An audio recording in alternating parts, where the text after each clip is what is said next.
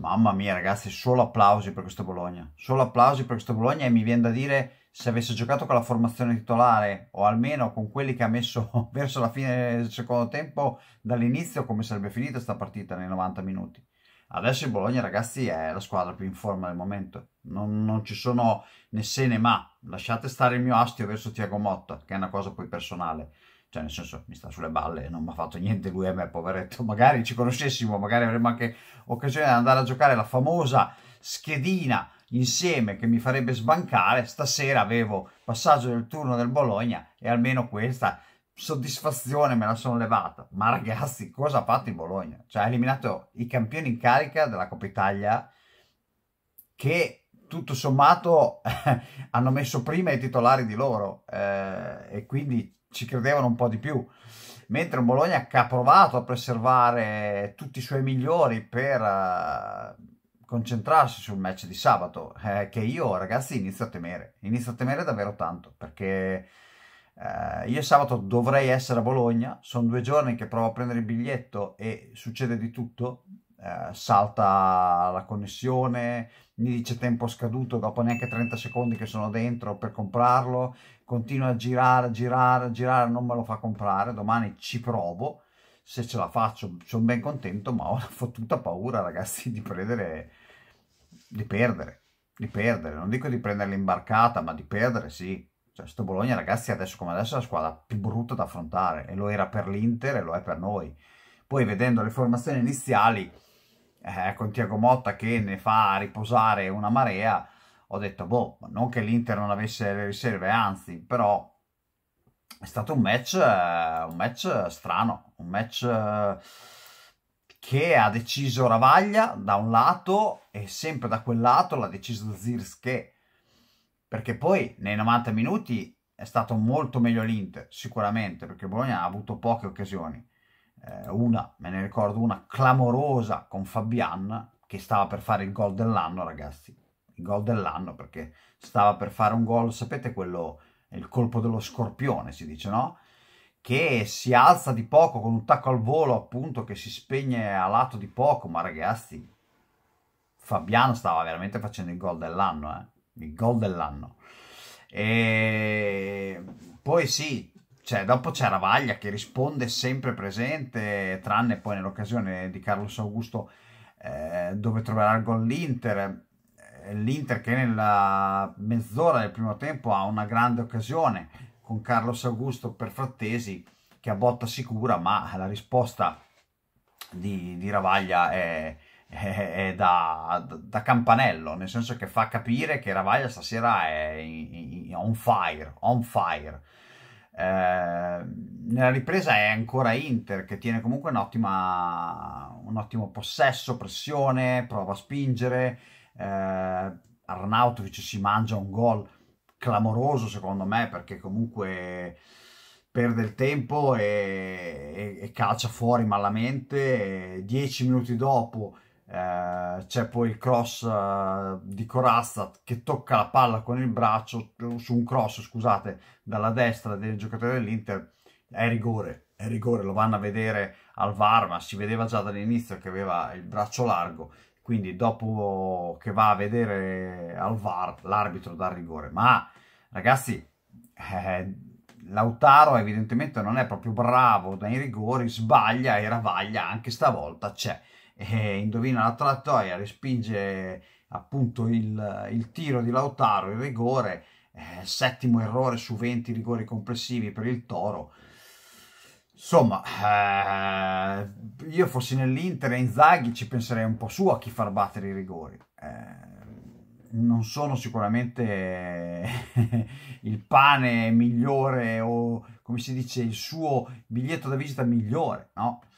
L'Inter che comunque dopo il rigore invece inizia a spingere, a spingere ancora di più, poi appunto eh, Lautaro dopo punito, ferito nell'orgoglio ci prova dal limite ma senza fortuna, ancora Carlos Augusto ci prova con un sinistro deviato che per poco sfiora il palo più lontano e poi arrivano, arrivano i cambi, quei cambi che sembrano favorire l'Inter secondo me perché Barella, Turam, Di Marco e Sensi eh, entrano per l'Inter e poi un po' in ritardo risponde Motta, entra subito Azzuzzi prima ancora dei cambi sue, eh, su, suoi di, di Inzaghi.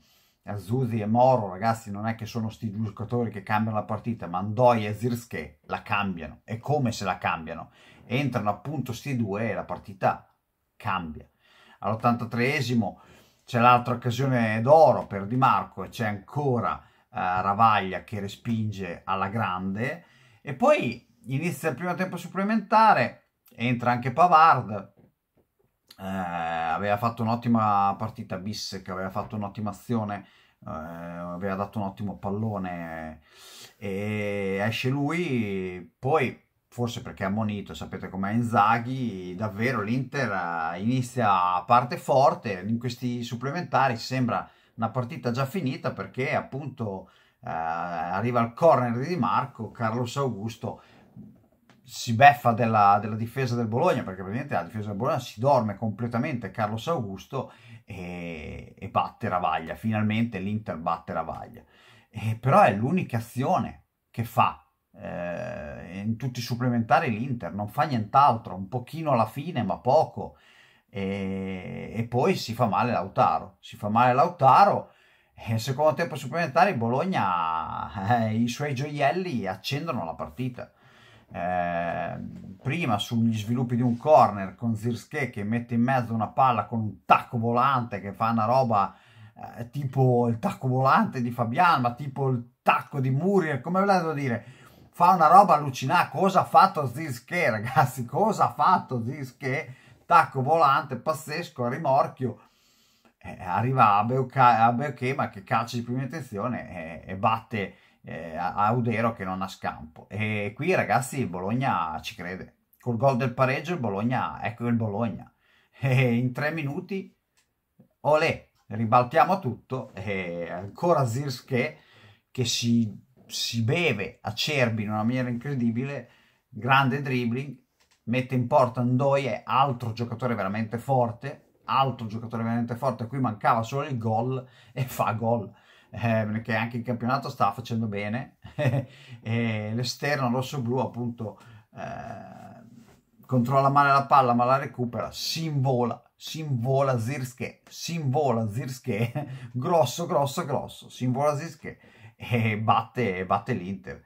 L'Inter ci prova verso la fine, ma senza successo. E ragazzi, davvero io non ho, non ho parole. Non ho parole perché sto Bologna mi fa veramente paura. Sono contentissimo per Sartori, contentissimo. Eh, lo dico sempre, lo dico tantissime volte. Eh, Sartori è la cosa che mi manca di più nell'Atalanta. È stato l'errore più grande del mondo mandarlo via e è un, uno che dovrebbe sicuramente essere una ancora più grande, sempre più grande squadra, perché è uno che il suo lavoro lo sa fare bene e obiettivamente lo sa fare bene anche Tiago Motta. Lo so che aspettavate questa frase qui eh, è fortunato perché con la Roma gli mancavano Lukaku e, e Dybala, stasera l'Inter sbaglio a rigore, quindi comunque sia vuol dire che la fortuna gira dalla tua, però sei anche bravo, sei bravo, un po' meno bravo a non metterli subito dall'inizio perché tanto comunque sia un po' si sono stancati eh, perché fare due tempi supplementari un po' ti stanchi e sicuramente è un Bologna che con questi dall'inizio non so come sarebbe finita questa partita, ho paura di un Napoli-Frosinone atto 2 eh non lo so. È un Inter che esce dalla Coppa Italia, un po' il, eh, come si dice il pane ghiotto di Inzaghi, che sapete che eh, nella Coppa Italia è forte, è molto forte, a noi ce l'ha rubata, ma è molto forte. E, ragazzi, complimenti. Complimenti a Ravaglia, complimenti a Zische, complimenti a tutti questi gioiellini scovati dal buon Sartori e, e fatti esplodere da, dal buon per voi, non per me, Tiago Motta. Eh, detto questo, spero di andare a Bologna, spero di vedere una bella partita, spero che ce la giochiamo, consapevoli del fatto che l'avversario in questo momento è più forte, è più forte di noi, gioca meglio di noi e, e mi fa paura. Vi invito a iscrivervi, a la campanella ti piace quindi commentare, eh, non l'ho detto subito, oggi lo dico alla fine, probabilmente molti di voi non sono arrivati qui fino alla fine, ma chi è arrivato fino alla fine qui metta un hashtag grazie, e il grazie sono io da, a dirlo a voi, Eh, è un periodo non felice, eh, sicuramente quest'anno per me, eh, soprattutto in questo periodo, eh, sono successe un po' di cose, chi mi segue su Instagram lo sa, ho scritto qualcosa anche qui, eh, in meno di 15 giorni sono venuti a mancare due animaletti di famiglia e io, per me gli animaletti di famiglia sono persone della famiglia, eh, oggi non volevo fare il video neanche oggi, sono obiettivamente provato uh, perché quando ti muore davanti agli occhi e tra le braccia è, è, peso ragazzi, fidatevi, è peso, già è stato peso con la gattina che è morta in clinica e invece vederlo proprio davanti il coniglietto è stato, è stato dura e vi ringrazio, vi ringrazio perché i vostri messaggi, le vostre parole mi sono servite davvero tanto. E sono in crisi, ma se sono qui stasera è grazie a voi e vi volevo ringraziare. Non lo faccio mai, lo sapete. Chi va a vedere i 300, non so quanti video ho fatto, ormai non lo so più, sa che non faccio mai queste cose. Eh, vi ringrazio quando raggiungo gli obiettivi, 1000, 2005, ma fare queste sruffianate tragedie non le ho mai fatte. Eh, sapete benissimo, sono molto riservato su tante cose, su questo obiettivamente ho parlato, perché ieri dovevo fare il recap di A, non l'ho fatto, e giustamente voi volevate sapere anche il perché, e io ve l'ho detto. Grazie a tutti, grazie davvero, quindi hashtag alla fine grazie, complimenti a Bologna, davvero complimenti, speriamo che si siano stancati un po' e sabato almeno un pareggino ce lo portiamo a casa. Vi abbraccio di cuore, ci vediamo sicuramente, eh, video con l'ospite, dovrebbe uscire o domani o venerdì mattina, forse venerdì mattina, eh, uscirà quello dei pronostici. E sicuramente post partita con l'Atalanta, Bologna-Atalanta se sono allo stadio sicuramente sarà stile quello del Sassuolo, quindi uscirà in ritardo, sicuramente magari verso sera, non lo so. Ci vediamo sicuramente anche prima di Natale, oltre a questi video qui, quindi scusate se mi sono dilungato gli ultimi due minuti, ma io ho tenuti alla fine apposta per quelli che so che ci sono, ci sono sempre, e siamo, per molti siamo pochi, per me siamo un bel numero, eh, soprattutto pochi ma buoni, eh, quei pochi che ci sono so che ci tengono e me lo dimostrano sempre, io vi ringrazio davvero. Vi lascio stare, vi lascio andare perché potrei esplodere. Ciao, io non mi piacciono le cose alla caramba, alla grande fratello. Ciao ragazzi, alla prossima a tutti. Un abbraccio, il vostro Monte. Thank you.